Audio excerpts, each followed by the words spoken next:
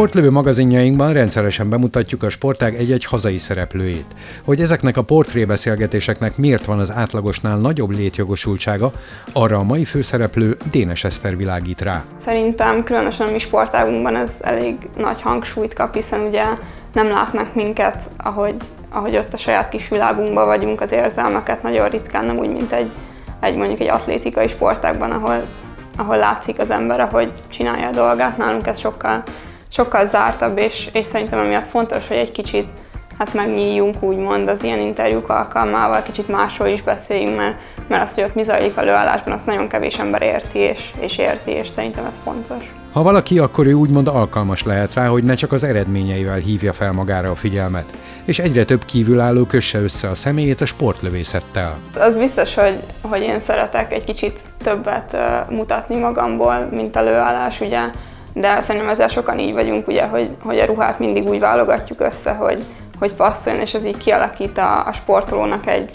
hát nem egy ilyen imást, hanem, hanem egy képet, ami megjelenik az emberek fejében arról, hogy, hogy ő ott áll előállásban, és, és szerintem ez nekem egész jól sikerült most, ugye a ruhám is, a hajam is stimmel, és ezért az emberek megjegyzik szerintem egy idő után. A külseit tekintve mindenképpen ő a mezőny egyik legszínesebb tagja. Nekem ez így, így hozzám tartozik, szóval ez nem, na, nem szoktam azon gondolkodni, hogy felkelek reggel, hú, zöld a hajam.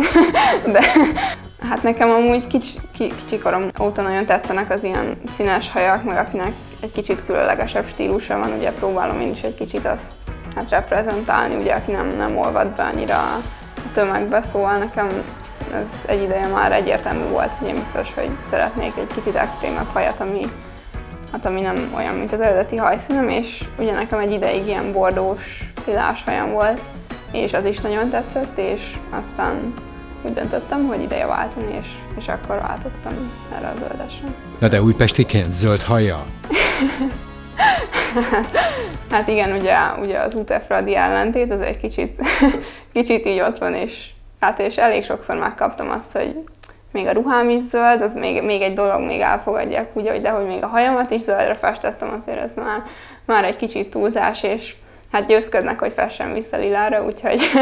még, még bármi lehet. A sorsa egy sportágválasztón dőlt el, ahova azonban nem teljesen kezdőként érkezett. Tíz éves voltam, amikor először így, így találkoztam a sportlővészettel. Először édesapám tanított meg lőni egy egy nagyon régi légpuskával, ami így otthon volt családban, aminek semmi köze nem volt a mostani sportfegyverekhez, és utána pedig a Sportágválasztó nevű rendezvényen ugye ki tudtam próbálni, az útelövői voltak kint, Istók is például, szóval igazából ő tanított meg engem legelőször lőni, és ott a, rendezvényen mondták, hogy nagyon ügyes vagyok, és, és hogy próbáljam ki, mert tényleg sokra vihetem vele, és, és akkor édesapámmal lementünk egyik nap a lőtérre, és és hát azóta is ott vagyok. Gyerekként egyrészt ugye a, a fegyverek iránti, hát nem tudom, hogy szeretet vagy valami, az, az egy kicsit minden gyerekben megvan szerintem, és, és mivel teljesen új dolog, és más, mint, a, mint egy foci vagy valami, szerintem ez mindenképpen megfogja őket, a színes ruhák, a színes fegyverek mindenképpen, és um, amit nem biztos, hogy egy gyerek számításba vesz, de Nekem például, amikor elkezdtem lőni, akkor nekem az iskolai teljesítményemen is meglátszott, ugye nagyon fejleszti a koncentrációt, ugye, ugye teljesen egy dologra kell fókuszálni, és az iskolában is, is látszik, hogy, hogy sokkal nyugodtabb a gyerek, hogy, hogy oda tud figyelni, és szerintem ez, ez egy tök jó dolog, hiszen ugye egyszerre a sportban és a tanulmányokban is sikeres lehet. Bár még mindig csak 19 éves, már évek óta a felnőtt mezőnyben is megméreti magát, és idehaza már is a legjobbak közé tartozik. Ez egy tudatos építkezés eredménye, ugye a fiatal korunktól kezdve megengedi a rendszer azt, hogy, hogy a saját korcsoportunkban is egyel följebb is induljunk, szóval, szóval akár 14 éves kortól kezdve nálunk ez így hát bevezeti a felnőtt vagy a magasabb korcsoportba a lövőket, és szerintem ez, ez azért felkészít hát lélekben, meg fejben is arra, hogy, hogy ott kell lenni, hiszen még hogyha nem is a saját korcsoportom, hanem még nehezebb is ott, ott lőni, de, de muszáj, és küzdeni kell a csapatért és az egyesületért, és szerintem Szerintem ez sokat segít abban, hogy később, amikor már tényleg belépek abba a korcsoportba, amiben már versenyzek évek óta, akkor maga biztosan tudom ott is teljesíteni azt, amit előtte. Eszter amúgy sem az a fajta, aki mindig a könnyebb utat választja. Szeretem a kihívásokat egy bizonyos, bizonyos szintig, tehát nem, nem tartom magam olyan embernek, aki mondjuk három éven keresztül mindig ugyanazt csinálja, és szeretem, hogyha egy kicsit változnak a dolgok, és hogyha egy kicsit meg kell küzdeni. Ugye, hát az milyen világ lenne, hogyha mindig minden az ölünkbe hullana, és, és nem kéne semmit se tenni érte, szóval, szóval szeretem, hogyha van, van egy cél, de azért nem, tehát reális kereteken belül szoktam magamnak felrakni azt a, azt a bizonyos lécet, és, és nem tartom magam olyannak, aki feleslegesen hajt egy olyan célért, amit mondjuk ne tudna elérni. Fiatal kora ellenére már bőven volt része sikerben. Ezek közül azonban nem tud egyet kiemelni. Sőt, még csak kedvenc versenyhelyszíne sincs. Olyan vagyok, hogyha, hogyha történik egy esemény, akkor, akkor hozzákötöm mind a, mind a pozitív, mind a negatív oldalát, és, és azért az nagyon ritka, hogy, hogy olyan versenyt fogjunk ki, hogy, hogy tényleg minden jól megy, és jó a pálya, jó a verseny, a döntő is úgy sikerül, nem, nem rontja el semmi, szóval ez,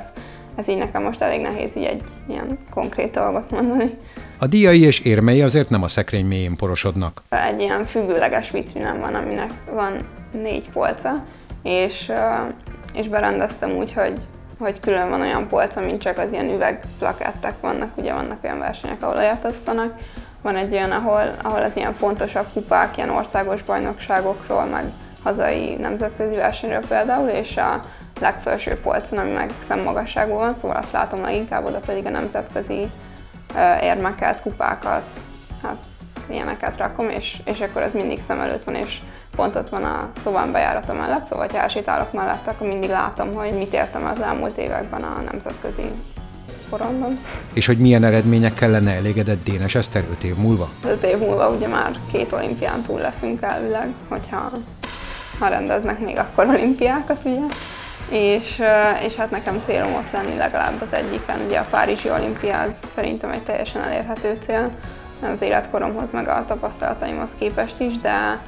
de ugye a Tokiói olimpia is már elég közel került hozzám, és még lesz lehetőségem arra, hogy, hogy azért még küzdhetek, és, és én szeretném megtenni a legtöbbet azért, hogy, hogy ott lássak, mondjuk mindkét olimpián, az, az nagyon jó lenne.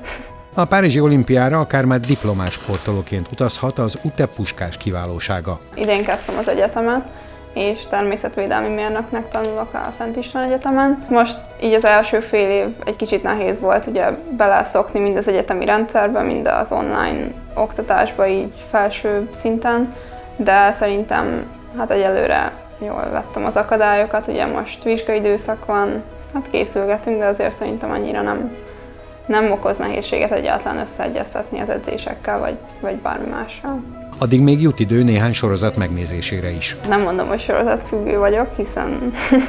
elég sok más aspektusa is van az életemnek, amit fent tudok mellette tartani, de nagyon szeretek így egy hosszú nap után hazamenni, és csak leülni, bekapcsolni valamit, és, és egy kicsit, kicsit kikapcsolni a, a többi dolgot, ami megy az életembe, és, és nézni valami jó sorozatot. A kedvenc ételeken nem kellett sokat gondolkodni. Nagyon szeretem a palacsintát, és nagyon szeretem a, a csilis babot. Az, az, az a kedvencem. Tehát ha anya megkérdezi, hogy milyen kaja legyen, akkor valószínűleg háromból kétszer azt fogom mondani, hogy az legyen.